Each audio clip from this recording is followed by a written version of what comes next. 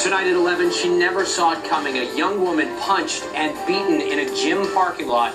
Tonight, the search for the stranger who attacked her. Breaking news a cyclist badly hurt in a hit and run crash, and the clues that could help catch the driver who took off. And a first in the nation plan to ban smartphones for kids at 11.